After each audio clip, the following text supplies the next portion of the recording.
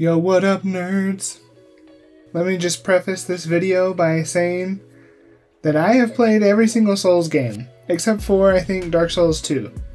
Dark Souls 2 was the one that I stayed off of because people said it wasn't as good as the others, so I just never really got into it. I've played from the very beginning Demon Souls on PS3 when people thought I was weird for playing it because nobody was playing it at the time and it was just this really weird hard game with knights and magic. I played Bloodborne, I played Demon Souls, I played Dark Souls 1, I played Dark Souls 3, I played all of them. This one trumps all of them easily.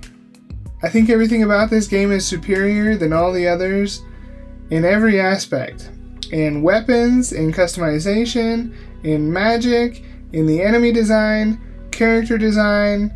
The classes are cooler.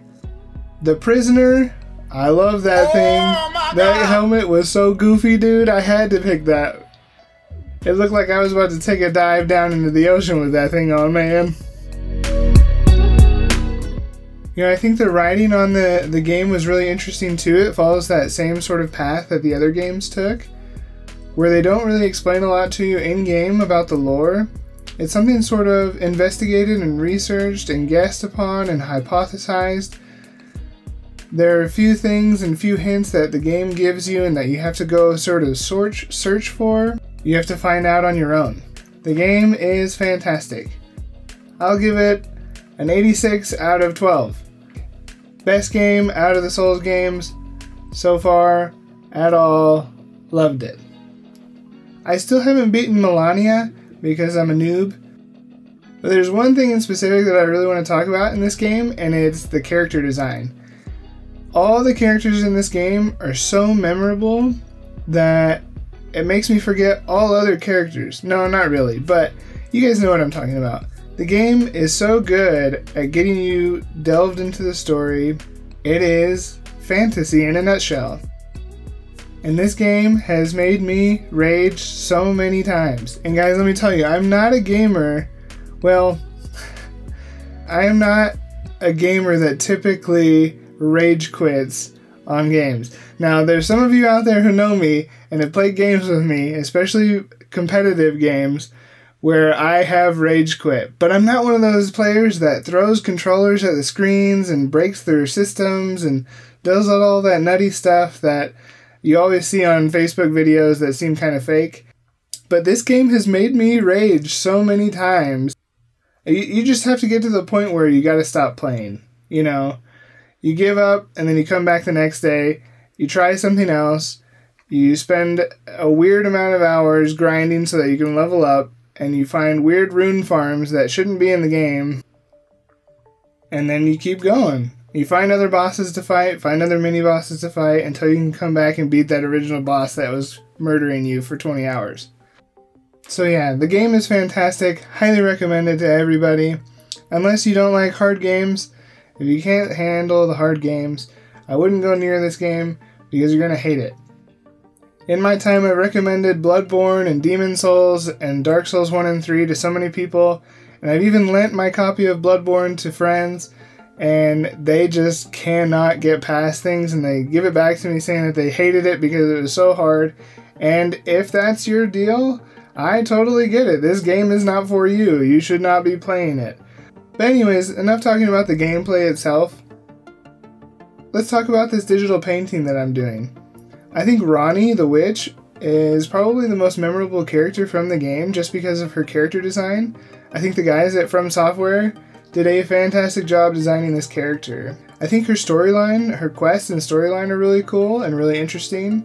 She gives along a lot of other side characters that can go along with you that, that also have really cool character designs. I just love her big, gigantic hat. There's something about it that makes it her character seem way over the top, and it works so well in this kind of game because this game is completely it believes itself to be high fantasy because it is high fantasy. So it's totally believable that a character would be out there like Ronnie or Ranni, however you want to say it, that is just this completely over the top witch with a gigantic hat. I won't give any spoilers for the game, Um, I know there's a lot of people out there who still haven't beaten it due to the difficulty of the game, so I'm not going to give any spoilers here, but Ronnie the Witch, when you find her and start her quest line, is it's probably some of the best parts of the game in all honesty, and some of the most memorable parts of Elden Ring. And what I'm doing here is I'm taking some reference photos that I got online. I'll throw them up here on the screen so you can take a look at the ones that I'm using. Obviously for a bunch of reference photos, I'm changing up some things, uh, giving them different, a little bit different proportions, changing up their faces, changing up their eyes, combining different reference photos to make one piece that I think is original. And like I said I've, in my other videos, guys, I think all artists should be using reference photos, especially the young artists. I think it helps a great deal whenever we're trying to approach realism for our concepts and our pieces. I think it'll do wonders for people's artwork. So if you're a young artist out there and somebody has told you not to use reference photos, that's a bunch of bullcrap. We need to practice drawing from life, and that's what reference photos are for. So take your own reference photos if you have to, put yourself in weird, funny poses that you need for poses that you're drawing for your art. Put those on a clipboard next to you in your computer or, or wherever you're drawing and use those reference photos to do your piece. Reference photos are the chef's kiss of art. Everybody should be using them. They are glorious, guys. They're fantastic. And I can't speak highly enough about all the artists on YouTube that talk about young artists using reference photos. It's one of the most important things that I think young artists can utilize in their work in order to improve and in order to progress as artists. Don't feel like you're cheating. Don't feel like you're stealing from somebody else's work, because I know young artists can feel that way. That's not the case.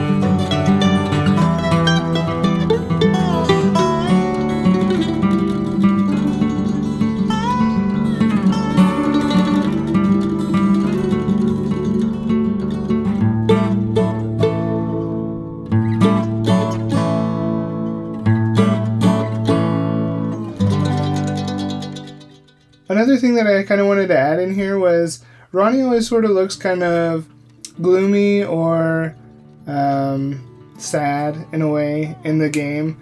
And I wanted to add sort of a deviant look to her, give her a little, little bit of. I wanted her to look sort of mischievous, you know. And I think one of the poses that really works for getting that mischievous look into people's faces is the head tilted down while looking up. I think that that pose, that facial expression, gives off a lot of personality for a character. And there's a bunch of poses like that, guys. There's a lot of things in body language that expresses how a character is. You know, shoulders slumped down can give you kind of like a sad look. Um, shoulders up and, and back can give you sort of a brave and stalwart look. Heads tilted to the side can give you sort of a confused look. There's a lot of things that we can do to a character's gesture and to a character's personality just by giving them certain poses, certain stances, and certain gestures. I also wanted this piece to be portrait, so a close up of her face. The rim of her hat, I'm I'm giving it a sort of depth of field look where it's blurred out because it's so big. I wanted it to look like it was close to the camera and her face was in focus. I also wanted to put some magic in there floating around her. I didn't want to put it in front of her face or on the details on the bottom, so I think around the rim of the hat is where it worked best. I also really like this overall blue look that Ronnie has. Blue against the black background I think has a good striking effect. And I wanted to try my hand at getting that blue and dark effect into this piece. And you'll notice I don't put a lot of detail into the top of her hat or at the bottom of her her like shoulders and dress because those aren't the focus of the piece. What I really wanted to be really well rendered out was her face. And the main focus of the portrait I wanted to be her eye. And it's that's one of the big striking features of Ronnie is that one of her eyes is sort of magically sewed shut. And I think that's a really interesting character design choice. I wanted that to be the focus of this painting. I also really like the smile that the original reference photo had, and I wanted to uh, sort of convey that smile but in a more uh, mischievous way here in the piece. And I think it came across pretty well. All in all, guys, I'm pretty pleased with how it came out.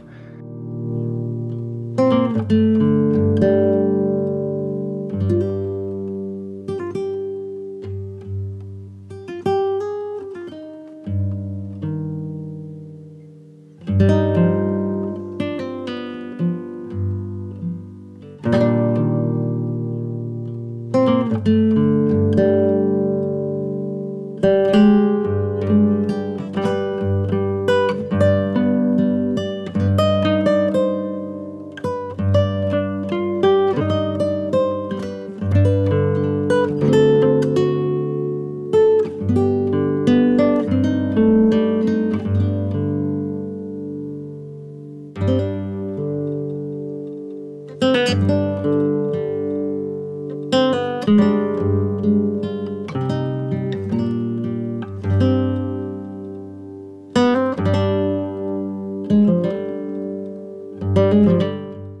want to thank you guys all for watching my videos, for coming out to watch and support the channel.